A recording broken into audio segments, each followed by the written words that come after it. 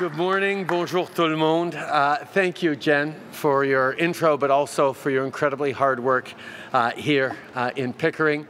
Uh, I want to thank as well uh, Ryan Turnbull and Mark Holland, uh, local MPs, for being here. thank you, Ali, and the extraordinary team you have here for welcoming us today. and thank you all for being out here. It's great to be back in Pickering. I want to begin by taking a moment uh, to offer my deepest condolences to the loved ones of the two South Simcoe police officers uh, killed in the line of duty. I, I know the families of people who serve um, are always worried for their loved ones as they step forward to serve their communities to keep the rest of us safe. Uh, and I can't imagine what those families are going through. Please know that we stand with you as families. We stand with all uh, those who step up to serve and protect us all.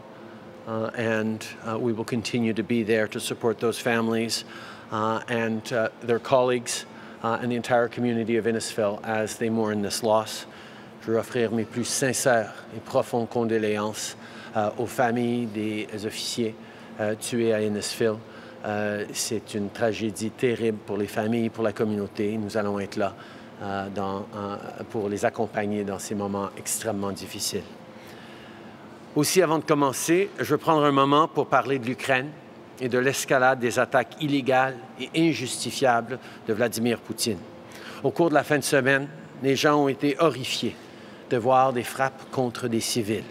Le Canada continue à condamner ces comportements brutaux et répréhensibles et on continue de soutenir la défense de l'Ukraine contre les envahisseurs russes.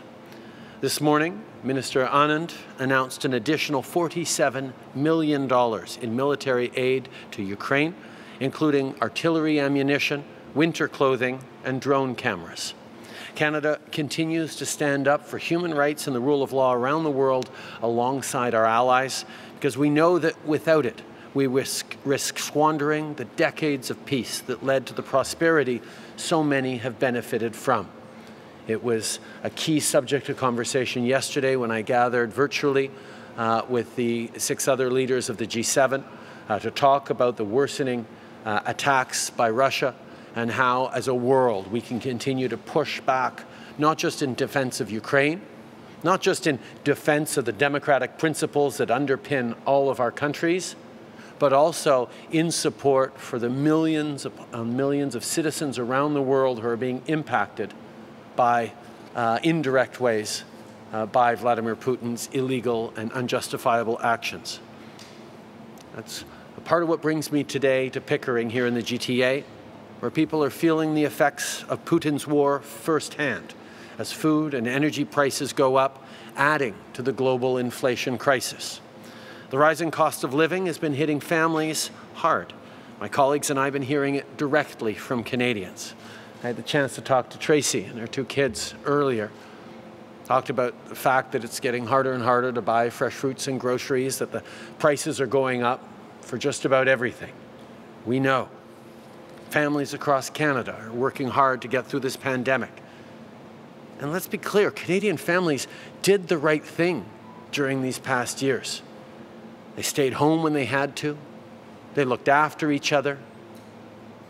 We got vaccinated as Canadians to some of the highest levels of anywhere in the world, which is a good reminder with cold and flu season coming up and the return of um, possible next waves of the pandemic. It's important that people get up to date in their boosters. We have new updated vaccines uh, that'll give us that extra shot to keep us protected through the winter and make sure that we're continuing to do the things we love uh, through this winter, even as the pandemic continues.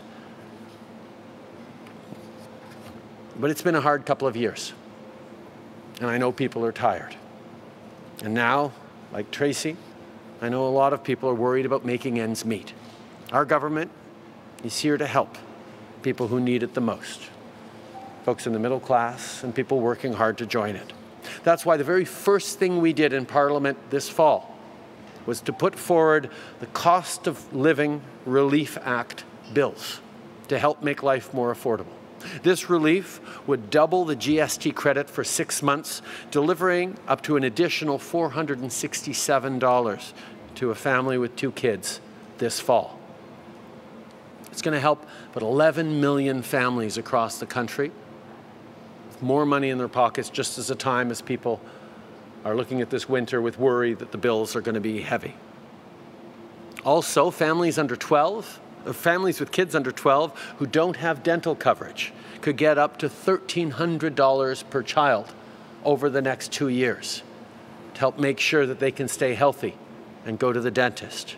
And 1.8 million renters, low income renters across the country, would benefit from a $500 one time top up to the Canada Housing Benefit.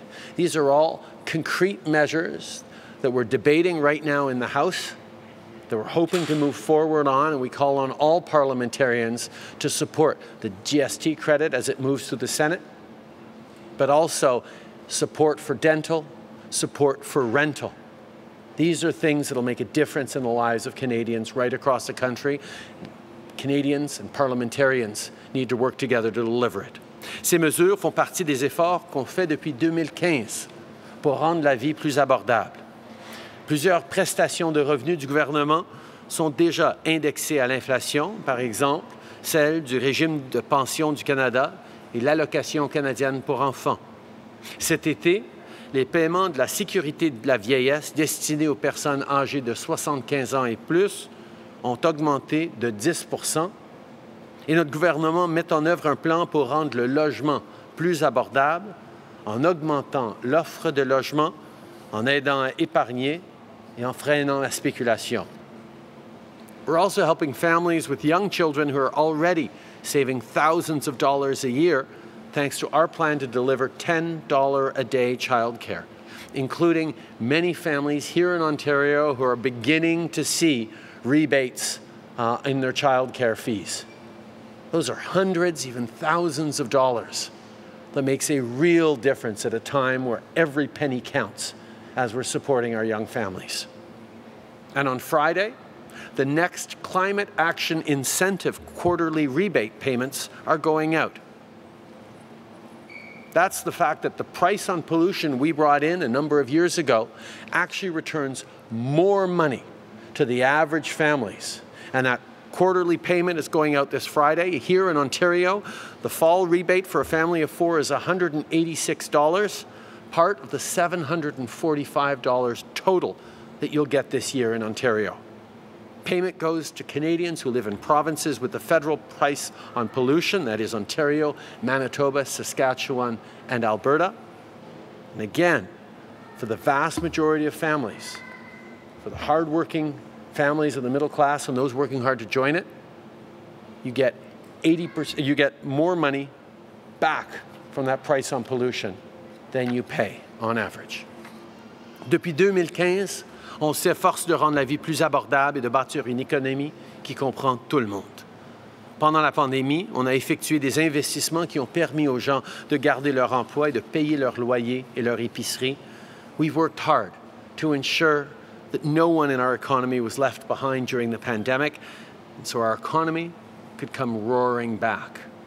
And now Canada has one of the strongest job recoveries in the G7, and we have a really low unemployment rate. But we know that's not enough. We know we need to keep working hard for Canadians. We need to keep making sure that as the economy grows, everyone benefits, not just those at the top. That's why we'll keep investing in programs that lift people up and build a future where everyone sees and has opportunity. That's why we're focused on, economy, on an economy that works for all Canadians. Merci beaucoup tout le monde.